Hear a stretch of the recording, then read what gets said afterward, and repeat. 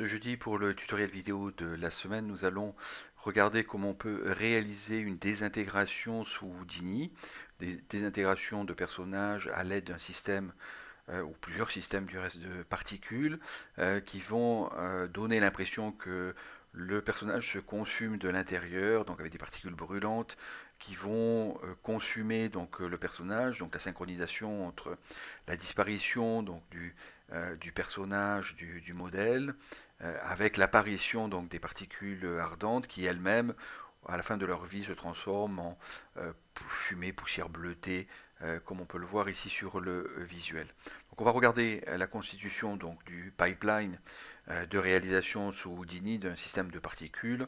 C'est euh, les systèmes de particules de base que l'on utilise ici. On verra que l'on peut aussi, dans d'autres tutoriels du jeudi, on verra que l'on peut réaliser ce type de visuel d'une autre façon avec d'autres systèmes que propose Houdini.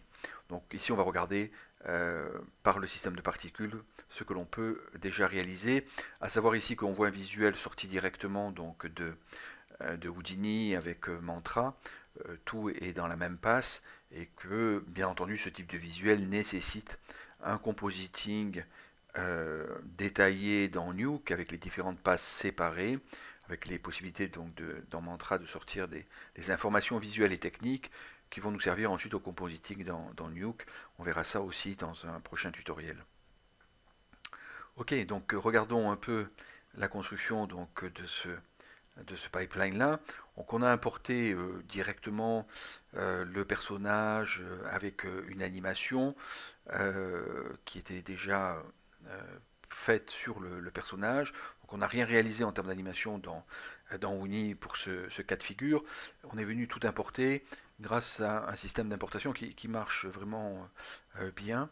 Euh, qui est donc euh, l'import ici, pardon, euh, Finbox FBX, et qui permet d'importer, alors je ne vais pas rentrer dans les détails, mais juste en ouvrant ici les options, qui permet d'importer différents éléments donc, de, du, fichier que l'on importe, caméra et géométrie animation, et surtout je poserai donc ici sur l'option matériel option juste une remarque, FBX Shader Node ou euh, VOP Network, euh, ici, VOP Network. Et, donc le choix entre les deux est assez fondamental pour le traitement des shaders. FBX Shader ici conservera la construction développée bien entendu du, shader qui est importé et le VOP Network repartira donc sur les shaders donc de Houdini. Ok, voilà.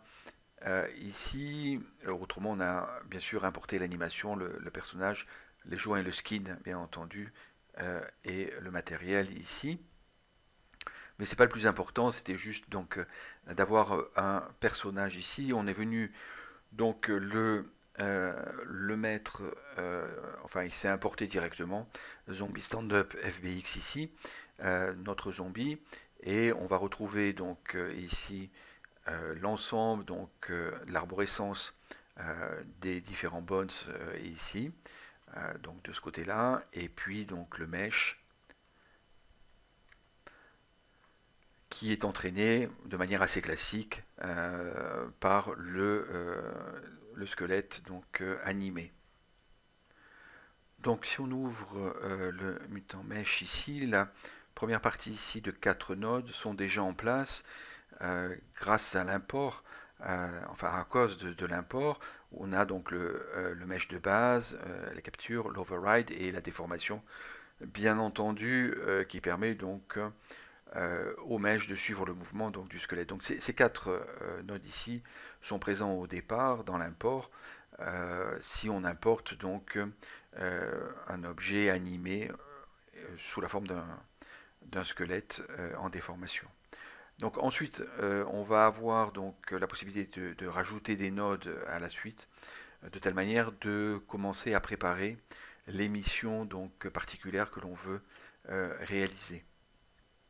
Donc à savoir qu'on part sur l'idée que c'est le mesh, donc le mutant mesh, euh, qui va émettre dans certaines conditions, bien entendu, le système de particules. Donc ici, je viens d'enlever le système de, particules pour qu'on voit, sans trop rentrer dans les détails, puisque ce n'est pas la partie qui nous intéresse pour ce tutoriel, les, euh, comment on a mis en place donc le, mesh.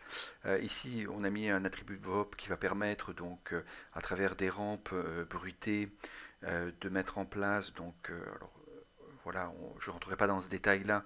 Encore une fois, on le verra donc la prochaine fois avec différentes rampes. On va sortir donc des informations.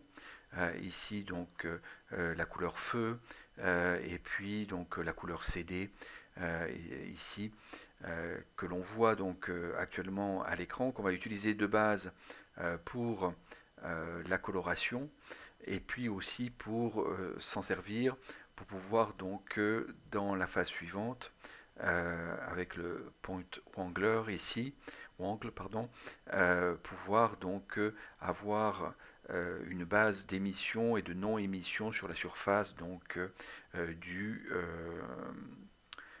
du mesh donc ça c'est la première partie. On va sortir avec euh, l'outward velocity euh, ici, euh, qui est un attribut de VOP ici pardon aussi, qui permet donc de traiter de la vitesse, donc, qui sera différente.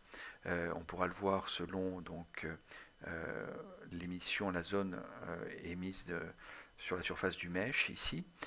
Donc ces ensembles de, de nodes, donc attributs de VOP, euh, attributs Wrangle et attributs de VOP euh, ici encore une fois, permettent de définir principalement donc une couleur et une, euh, et une vitesse qui vont être ensuite utilisées comme paramètres pour gérer l'émission donc des particules. Alors on pourrait rentrer d'autres paramètres ici en préparation donc de l'émission des, particules sur la surface donc du mesh ici. Mais on va s'arrêter là. Donc on peut très bien aussi, euh, euh, à la fin, ici, alors je ne l'ai pas fait parce que j'ai utilisé le dernier node Outward Velocity, donc la velocity de, euh, de sortie, mais on peut très bien utiliser un node ici nul qui permettra de conclure cette branche-là et que l'on appellera par exemple donc mesh émission par exemple. Émission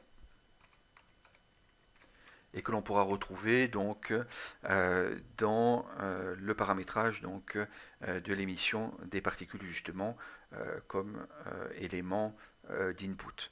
Donc ça c'est cette première branche. Alors pourquoi on a fait une deuxième branche? En fait on a fait une autre branche au-dessus.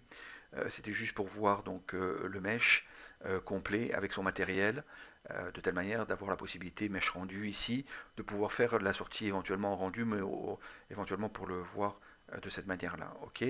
Donc ici, euh, mèche émission, euh, on a vu ce que ça donnait. Et puis on a donc une troisième branche. Cette branche ici est à peu près semblable à la branche précédente, en dehors du fait qu'on n'a pas remis le, calcul d'une certaine vitesse, ici avec l'outward velocity. on ne l'a pas pris comme paramètre, mais par contre on l'a remplacé par un, delay ici euh, qui va permettre donc euh, dans les parties euh, les plus claires de déléter comme son nom l'indique donc le, le mesh et d'obtenir ce que l'on voit donc actuellement à l'écran. Bien sûr, ça, évoluera donc en fonction de la map qui elle-même évolue de très sombre. Donc on n'a pas donc d'émission ni de délette de jusqu'à donc une émission euh, enfin une variation euh, de la coloration dans la luminosité principalement, mais puis dans la couleur aussi, mais dans la luminosité donc euh, de la surface de travail que l'on utilise ici pour émettre des particules et déléter donc comme on le voit ici donc la surface au fur et à mesure. Donc on va ensuite subdiviser un peu le, le délai pour un peu l'arrondir pour avoir quelque chose de moins de moins cassant. Alors ce paramétrage-là, bien sûr, aide euh, au fait qu'on a quelque chose euh, d'un peu plus arrondi dans le délai. C'est pour le, rendu que ce soit un peu moins euh, cassant en termes de particules, de, face carrée. Et puis avant, ce que j'ai oublié de dire, c'est que j'ai subdivisé ici avec une profondeur de 1 seulement, depth 1, et ici, on pourrait subdiviser plus, alors tout dépend la, la puissance bien entendu de l'ordinateur qui traite ce, cette, animation, cette simulation, mais on peut déjà pousser la, définition donc, de la subdivision avant le delete beaucoup, de, manière beaucoup plus importante. Un, pour avoir un delete plus précis, et deux, pour avoir une émission aussi de, particules plus précises, bien entendu. Euh, et donc ensuite, euh, on va pouvoir donc euh, recolorer éventuellement donc euh, l'élément euh, qui est en mode delete, comme on le voit ici, et éventuellement lui appliquer donc un matériel. Ce matériel, c'est euh, celui donc d'origine qu'on voit ici en entier au début de l'animation, d'origine donc du, du mutant et qui va se décomposer donc au fur et à mesure. Voilà. Donc à partir de là, alors j'ai rajouté le mesh émission sur l'exemple qu'on va voir maintenant sur les particules. objet, voilà. Euh, ici, donc on le construit dans une géométrie. Alors on aurait pu très bien euh, construire le système de, particules euh, dans la géométrie donc, du, du mesh, du mutant, mutant mesh. Hein. On aurait pu très bien le mettre à l'intérieur. Alors une des raisons de ne pas le faire, c'est que ça nous donne la possibilité de pouvoir choisir euh, dans le, viewer et éventuellement dans le rendu ce que l'on veut voir, pas voir, euh, les systèmes de particules séparés donc euh, du mesh. Alors on peut le faire si c'est inclus dedans. c'est aussi intéressant de, l'avoir séparé, voire plus intéressant de telle manière de pouvoir rendre indépendant, donc justement, encore une fois, la partie émission de particules, donc en créant au début, donc on fait bouton droit de la souris, un pop euh, network ici, Pop Network, euh, qui est ici, qui va donner donc euh, PopNet, ici qu'on va pouvoir ouvrir. Et on a donc deux bases. Alors on a deux bases, hop, de la source jusqu'au wire. Voilà. les éléments que j'ai rajoutés, c'est ceux que je viens de sélectionner. Autrement, on a au départ donc une source, first input, ici. Et puis on va avoir donc ensuite euh, le, euh, la possibilité donc euh, d'envoyer ici cette source dont on va voir la définition. Alors on peut la mixer, il y a un wire ici, un merge, qui, est là par définition, le pop object des particules et le pop solver et la sortie ici output. Voilà, c'est constitué donc de ces 4, 3, 4, 5 nodes, pardon, en comptant le, le, input, et je suis venu rajouter donc tout un ensemble euh, de nodes euh, ici qui vont permettre de mieux définir donc euh, ce qui va être donc pris dans le calcul, donc dans le calcul après le merge ici, ce qui va être pris dans le calcul du pop solver. Ok. Donc ici je vais remettre donc le système de, particules. Donc voilà ce que ça donne à la frame 126 euh, ici. Donc euh, je reviens sur le système de particules. Voilà, donc euh, ici le PopNet. Donc au départ on crée donc le PopNet. Alors j'ai laissé ici la sphère qui m'a permis de faire la géométrie, ça sert absolument à rien. Donc le Pop Network ici. Et donc sur ce Pop Network, on a principalement, on va commencer avec ici l'input le source euh, ici. On va on avoir plusieurs onglets euh, pour le pop source euh, ici et on va venir donc sur source et on a plusieurs possibilités donc de géométrie source.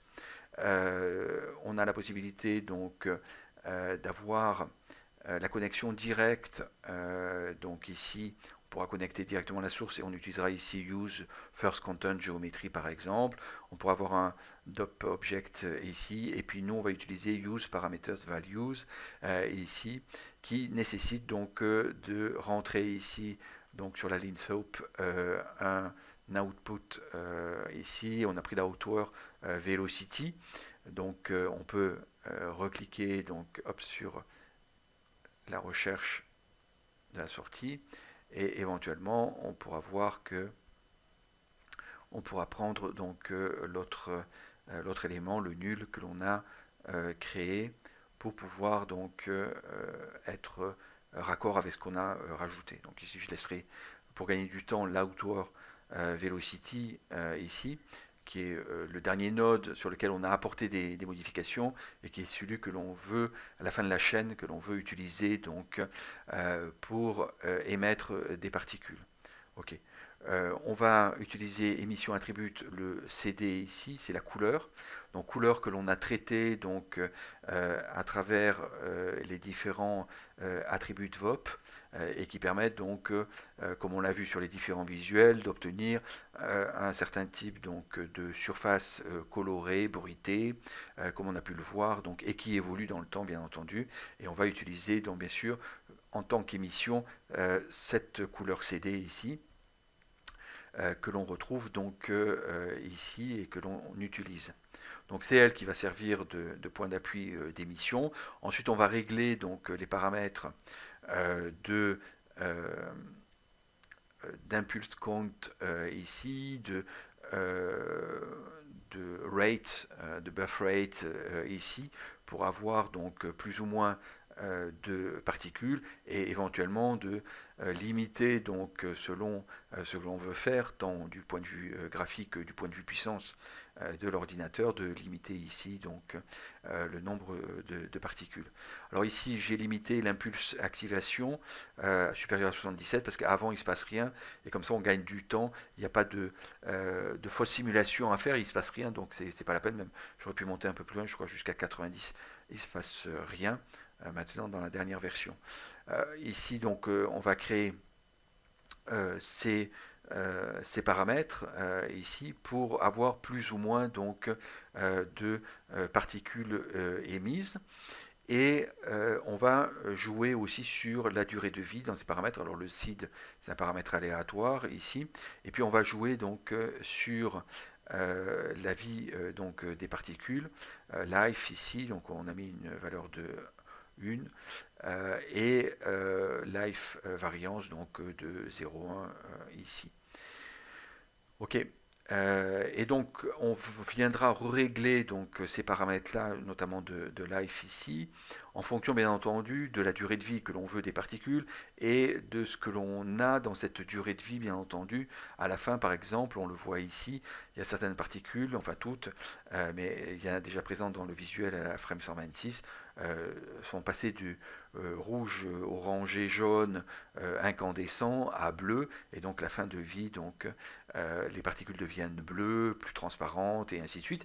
Et donc on pourra régler cette durée de vie ici en fonction de, du visuel que l'on veut obtenir au, final, par rapport aux différentes rampes que l'on aura utilisées, les rampes en termes de, taille, en termes de color et en termes de d'alpha, de, de, transparence, donc sur les particules. Alors pour paramétrer donc le calcul de la simulation, euh, après donc le source euh, ici le pop source, euh, on va pouvoir mettre en place donc différents éléments qui vont être pris en compte donc dans la simulation. Donc on va mettre donc en place ici cinq nodes qui vont nous permettre de paramétrer donc cette simulation. Donc notamment on a vu qu'on allait utiliser donc la position euh, euh, du, point sur la surface, euh, le mesh, pour émettre une particule, une particule plusieurs particules, selon donc le rate, le buff rate qu'on aura choisi notamment. Et on peut éventuellement, pour obtenir quelque chose de moins symétrique, ressemblant en émission trop au mesh, pour obtenir quelque chose donc de plus bruité, c'est les lignes brûlantes que l'on voit de particules jaune-orangé ici, qui font des lignes comme ça un peu bruitées, hasardeuses ici. Cette émission-là, on voit un paquet sur le coude euh, de notre mutant euh, sur la gauche, euh, qui est un peu plus bruité aussi, des petites lignes. Eh bien tout ça, on va l'obtenir au départ, notamment en jouant sur la position de, de l'émission. Alors on va venir donc ici utiliser un node pop vop ici alors tab pop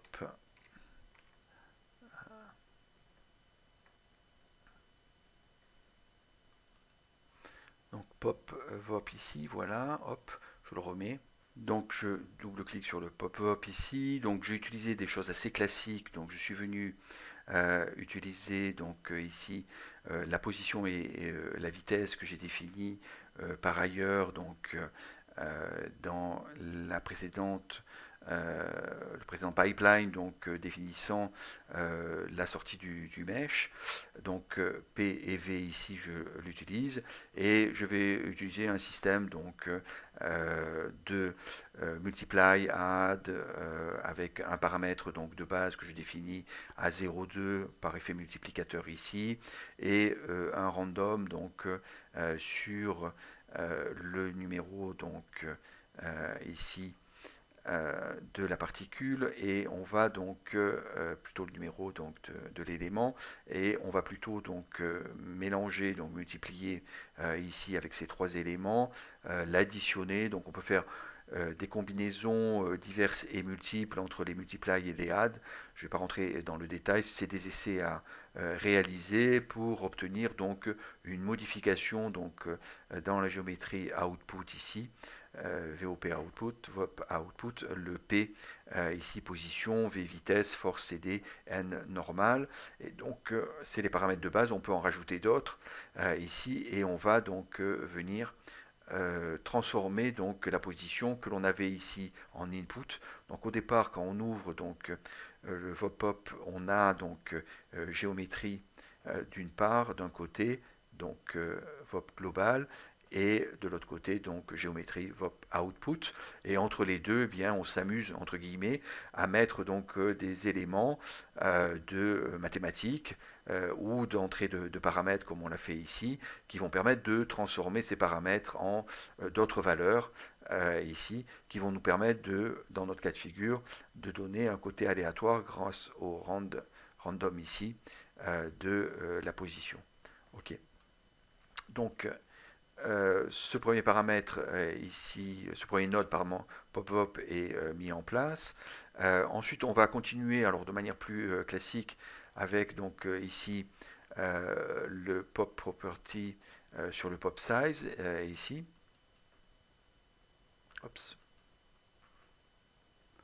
Donc pour le pop size, on va utiliser donc un node pop property, donc tab ici pop euh,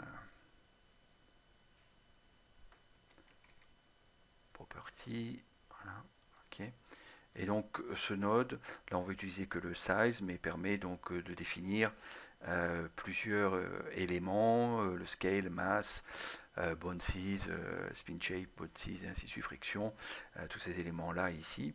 Et ici, on va pouvoir rentrer, alors je reconnecte, par exemple, pour faire une deuxième branche ici, juste pour montrer, on va pouvoir donc venir euh, rentrer une valeur ici uniforme euh, scale euh, définissant la taille des particules à l'émission qui va être pris en compte donc dans la simulation. Alors ici, si on regarde notre pop size qu'on utilise, on a juste donc un lien avec donc une variable qui s'appelle part size. C'est juste le fait qu'on a remonté donc au niveau du euh, système donc, euh, de, particules, des variables, de telle manière de pouvoir les atteindre donc, directement. Et donc, je vais montrer, pour terminer ce premier tutoriel, cette possibilité-là. Je reviens sur le node donc, de départ géométrie particules, celui, le principal. Et ici, on va venir donc, dans Edit, paramètres interface. ok et on n'a pas besoin donc de certains éléments qui gênent euh, à la lecture éventuellement. On va les rendre euh, invisibles euh, ici. Voilà. Ok, différents éléments par exemple. Et on va pouvoir rajouter donc une variable float ou un autre type de, variable ici. Hop, float, label, donc paramètre. on va appeler ça donc part size, particule size, label, part size. Euh, ici, voilà, et on accepte. Et donc on va se retrouver euh, ici donc avec une première variable et on pourra avoir toute une liste de variables qui viendront donner donc des valeurs, implémenter des valeurs à différents niveaux du pipeline donc de production des particules, que ce soit au niveau donc de la gestion de la surface du mesh pour l'émission ou que ce soit au niveau vraiment donc du de l'émission donc des, particules et du calcul donc de la simulation des particules. Donc ici j'ai ce paramètre euh, part size ici, ok.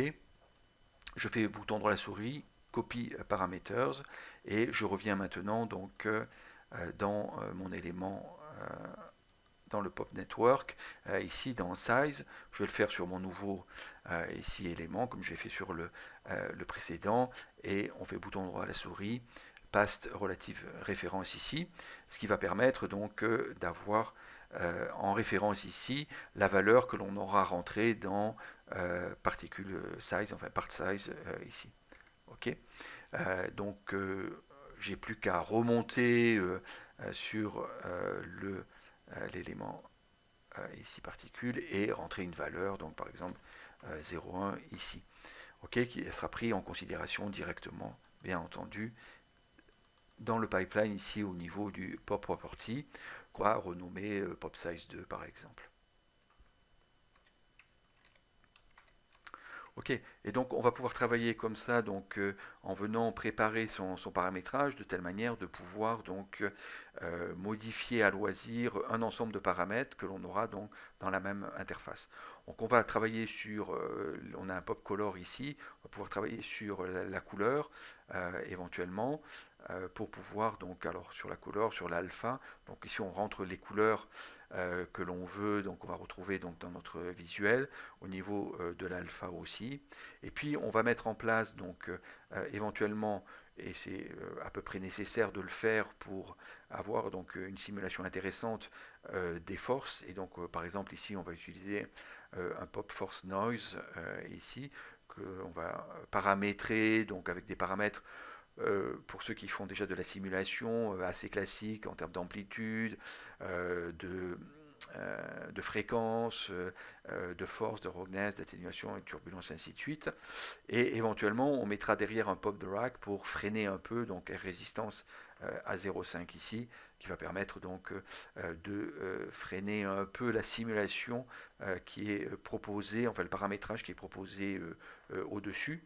Euh, de telle manière qu'on puisse envoyer tout ça, donc euh, éventuellement avec un merge avec une, autre branche, euh, dans le solver pour qu'il nous donne donc la simulation à la frame voulue ou sur l'ensemble donc des frames. Ok, à la sortie, on a l'output ici. Et alors, juste pour terminer, on y reviendra dessus sur un autre tutoriel. On peut très bien, à la sortie du PopNet, là, j'ai remonté, alors euh, remettre un clean pour enlever certains paramètres. Si on veut, donc, au dernier moment, remettre donc euh, des, euh, des valeurs dans le color, dans le size et dans l'alpha avec un attribut VOP.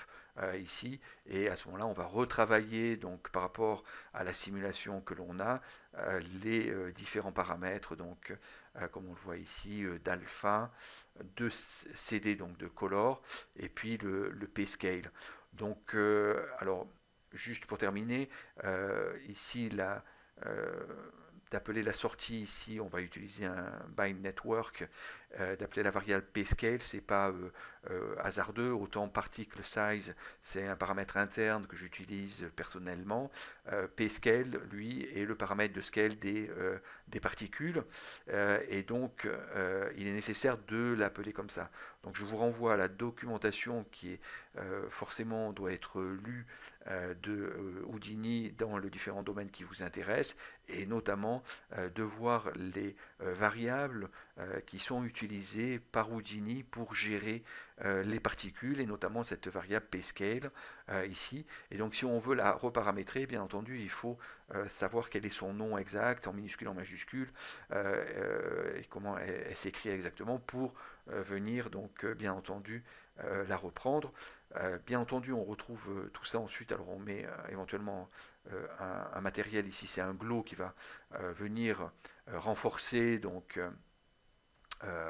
qui va venir renforcer donc le, euh, système euh, ici euh, de force donc de, la luminosité. Et puis si on regarde donc chaque node, vous savez qu'il y a une information si on clique sur information, on a donc les attributs qui sont sur ce node-là qui ont été transmises. donc c'est très intéressant de, regarder donc au fur et à mesure pour savoir quelles sont les informations que l'on transmet, que ce soit au niveau des point attributs ou des primitives attributs ici ou d'autres. notamment, ben, on va retrouver l'âge, l'alpha, le CD, la couleur, le numéro de la particule, la durée de vie, la point, la position euh, et chaque fois, on a donc euh, trois floats, ça veut dire que c'est un vecteur, par exemple le point euh, ici, et notamment le p-scale et v pour la vitesse en minuscule. p-scale, donc on a un float ici. Donc ça c'est très important de venir regarder avant de travailler sur un node comme l'attribut de VOB par exemple, de savoir au-dessus quels sont les paramètres qui sont en jeu. On voit que par exemple il n'y a pas le p-scale parce que je vais le créer euh, ensuite, euh, justement avec euh, l'attribut VOP ici. et à la sortie, donc ici à l'entrée, à la sortie, on aura donc le PScale qui est venu se rajouter et l'alpha qui est venu se rajouter comme variable que j'ai créé à l'intérieur donc, donc ici dans la programmation nodale du VexBuilder j'ai pris PScale sous ce format là et euh, et alpha euh, ici au-dessus. Euh, les autres sorties, c'est juste CD, je l'ai utilisé avec le node donc VOP output. Voilà donc un rapide aperçu, parce que c'est relativement long bien entendu, de pouvoir rentrer dans tous les détails donc des nodes mis en place, mais c'est pour donner donc un ordre d'idée du pipeline, en venant donc préciser certains points qui paraissent essentiels donc dans la gestion des nodes ou de la mise en œuvre du pipeline pour obtenir le résultat euh, que l'on a vu donc en introduction.